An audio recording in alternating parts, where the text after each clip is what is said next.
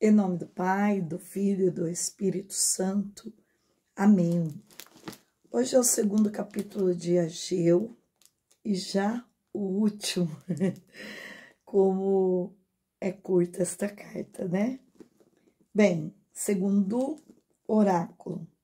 No segundo ano do reinado de Dário, no vigésimo primeiro dia do sétimo mês, a palavra do Senhor fez-se ouvir por intermédio do profeta Ageu, nesses termos. Fala o governador de Judá, Zorababel, filho de Salatiel, ao sumo sacerdote Josué, filho de Josedeque, e ao resto do povo.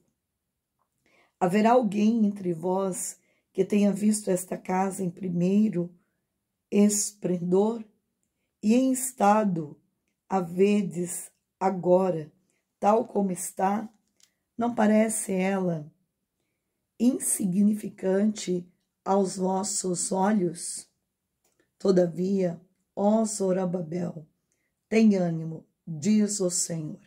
Coragem, Josué, filho de Josedeque, somos sacerdote. Coragem, todos vós habitais, habitantes da terra, diz o Senhor mãos à obra. Eu estou convosco, oráculo do Senhor, dos exércitos, segundo o pacto que fiz convosco quando saístes do Egito, meu espírito habitará convosco. Não temais, porque isto diz o Senhor dos exércitos. Ainda um pouco de tempo, e abalarei o céu e a terra, mares e continentes. Sacudirei todas as nações, afluirão riquezas de todos os povos. Enchereis, encherei de minha glória esta casa, diz o Senhor dos exércitos. A prata e o ouro me pertence, oráculo do Senhor dos exércitos. O esplendor desta casa sobrepujará o da primeira. Oráculo do Senhor dos Exércitos. Sim, farei reinar a paz neste lugar, diz o Senhor dos Exércitos. No segundo ano do reinado de Dário, no vigésimo quarto dia do nono mês, a palavra do Senhor fez se ouvir pelo ministério do profeta Ageu nesses termos. Isso diz o Senhor dos Exércitos. Propõe ao sacerdote esta questão. Suponhamos que um homem traga na orla da sua veste carne consagrada. Se ele tocasse com esta veste o pão ou o guisado ou vinho ou óleo ou qualquer outro alimento, porventura se tornaria santo tal objeto? Não, responderam os sacerdotes. Mas suponhamos, replicou Ageu, que alguém esteja manchado por ter tocado um cadáver. Se ele tocar qualquer destas coisas, ficará ela impuro? Impura? Sim, ficará impura, responderam os sacerdotes. Então Ageu retomou a palavra e disse: Assim é este povo Assim é esta nação diante de mim. Oráculo do Senhor. Assim também é o trabalho de suas mãos. Tudo o que me oferecerem, ali está manchado. Prestai toda atenção, pois a partir de hoje para sempre, antes que se começasse a colocar pedra sobre pedra no templo do Senhor, que vos acontecia? Um feixe de trigo, da qual se esperava vinte medidas de grãos, não dava mais que dez. Uma cuba de vinho de cinquenta medidas não dava mais que vinte. Mandei ferruja, mangra e saraiva para destruir o trabalho de vossas mãos, e não vos voltastes para mim, oráculo do Senhor. Prestai toda atenção no que vai acontecer a partir desse dia. A palavra do vigésimo quarto dia do nono mês, diz em que foram lançadas pedras de fundamento da casa do Senhor. Prestai toda atenção, vede se o grão falta ainda nos celeiros, se a vinha, a figueira, a romanzinha, a romanzeira e a oliveira continuam improdutivas, porque a partir desse dia derramarei a minha bênção. A palavra do Senhor foi dirigida pela segunda vez a Ageu no 24 dia do mês, nesses termos. Vai ter com o governador de Judá, Jorababel, e diz-lhe: Abalarei o céu e a terra, derramarei o trono de todos os reis, aniquilarei o poder das nações, destruirei os carros e suas equipagens, cavalos e cavaleiros cairão, e eles se matarão mutuamente a golpes de espada. Naquele dia, oráculo do Senhor, eu te tomarei, ó Zorobabel, filho de Salatiel, meu servo, oráculo do Senhor, e te conservarei como se conservas um sinete, porque é a ti que escolhi, oráculo do Senhor dos Exércitos. Palavra do Senhor. Graças a Deus. Então, nesse último capítulo de Ageu, capítulo 2, podemos ver o seguinte.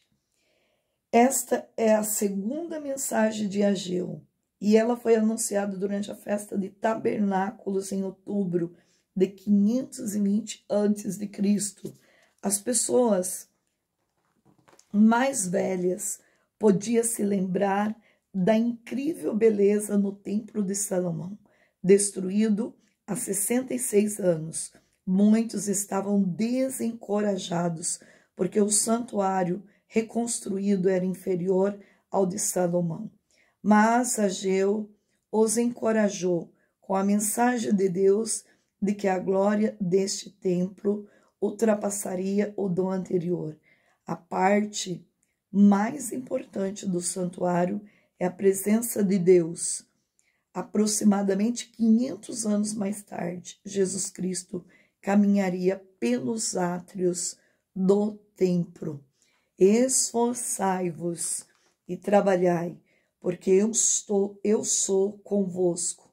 O povo de Judá tinha voltado a adorar a Deus e o Senhor prometera abençoar os seus esforços, mas era tempo de trabalhar.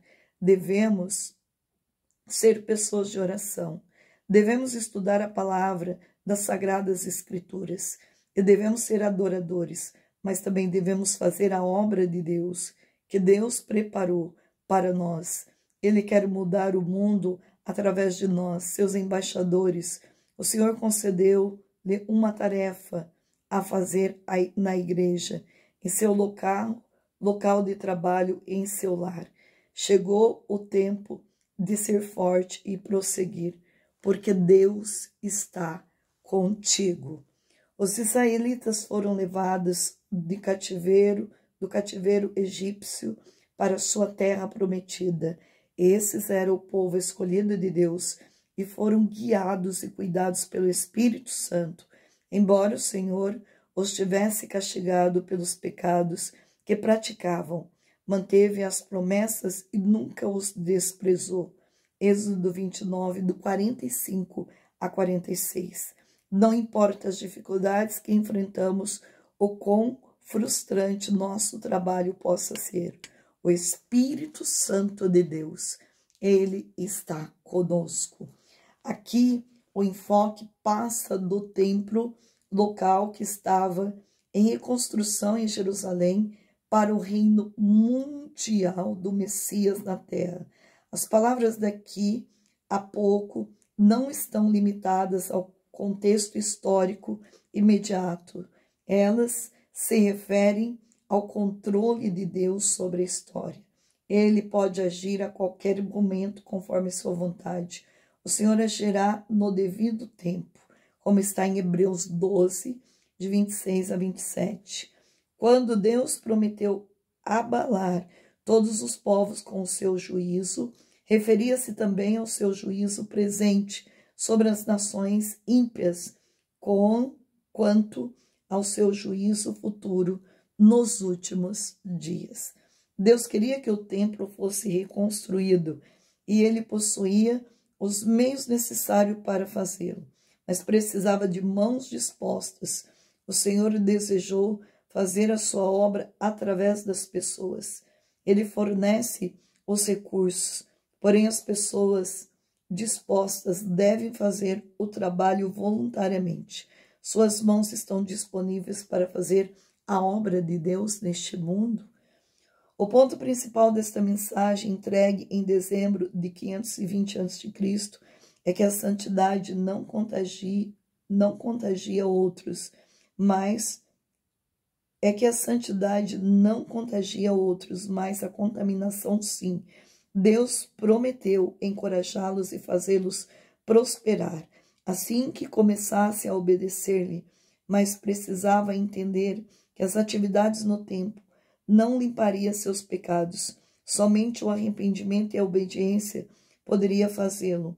Se insistirmos em abrigar pecados, atitudes erradas, ou em mantermos um estreito relacionamento com pessoas pecadoras, seremos contaminados. Somente capacitados pelo Espírito Santo poderemos ter uma vida santificada. Quando uma criança come molho de espaguete, seu rosto, mãos e roupas tornam-se rapidamente vermelhos o pecado e as atitudes egoístas produzem o mesmo resultado. Mancham tudo aquilo que os toca. Até mesmo as boas obras feitas para Deus podem ser contaminadas por atitudes pecaminosas. O único remédio é a limpeza que somente o Senhor é capaz de proporcionar. Por muitos anos, e somente a semente produziria apenas 50% do rendimento, esperando, no caso do vinho, o resultado foi ainda pior. Recolocaram os fundamentos do templo, imediatamente Deus os abençoou. Ele não esperou o projeto ser concluído. O Senhor frequentemente envia seu encorajamento e aprovação assim que damos os primeiros passos em obediência. O anseio de Deus é nos abençoar. A mensagem final de Ageu mostra que ele era somente um mensageiro que anuncia a palavra do Senhor e dirigido a Zorobabel, o governador de Judá. O anel de selar era usado para garantir a autoridade e a autenticidade de uma carta servia como uma assinatura quando pressionado em cera suave sobre um documento escrito. Deus reafirmava e garantia que sua que garantia sua promessa de um Messias que viria através da linhagem de Davi, como está em Mateus 1, 12. Deus conclui sua mensagem a Zorobabel com, com a tremenda é, afirmação: Porque te escolhi. Tal proclamação também é aplicável a nós. Cada um de nós foi escolhido por Deus, como está em Efésios 1, 4. Esta verdade deve nos fazer entender o quanto Deus nos ama e nos motiva a trabalhar para Ele. Quando você se sente desanimado, diga a si mesmo: Deus me escolheu. A mensagem de Ageu para o povo tinha a intenção de fazê-lo estabelecer sua prioridade corretamente, ajudá-los a deixar de se preocupar e motivá-los a reconstruir o templo. Como eles, nós também frequentemente atribuímos maior prioridade ao nosso conforto pessoal do que à obra de Deus, a verdadeira adoração mas o Senhor se agrada, mas o Senhor se agrada e nos promete força e direção quando lhe damos o primeiro lugar em nossa vida. Então, esta é uma palavra que vem nos trazer esta garantia de Deus. Estou aqui pregando um retiro em Cascavel para a juventude e hoje é domingo, dia do Senhor, dia de encerrar o retiro. Mas como é bonito quando a gente vê a juventude se rendendo a um poder tão grande de Deus, a ponto de mudar o rumo da sua direção. Direção que nos leva a uma comunhão plena com Deus, uma direção que nos faz ser pessoas santas, pessoas íntimas de Deus, pessoas místicas. E é isso que Deus quer de nós. Dois capítulos, mas que diz muito para nós. Amanhã já vamos começar a carta de Zacarias e vamos dar sequência à nossa meditação. Que Deus Todo-Poderoso possa nos abençoar. Ave Maria, cheia de graça, o Senhor é convosco. Bendita sois vós entre as mulheres, e bendito é o fruto do vosso ventre, Jesus. Santa Maria, Mãe de Deus, rogai por nós, pecadores, agora e na hora de nossa morte. Amém. Em nome do Pai, do Filho e do Espírito Santo. Amém.